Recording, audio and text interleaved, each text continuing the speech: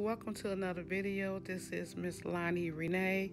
I visited the Van Gogh exhibit at the TCF Center in Detroit.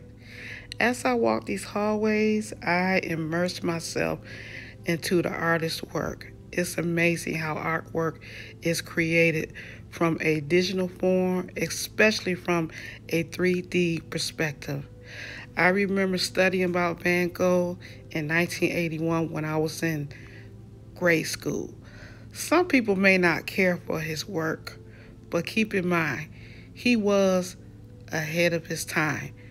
Like he told his brother, let's take a walk and let's see how we see things different. I got a name for Van Gogh. He was the king of selfie because I I don't know no other artist that paints so many pictures of himself. Well, anyway, let's take a walk and let's see things how Van Gogh see. Remember, like, share, and subscribe. Enjoy the exhibit.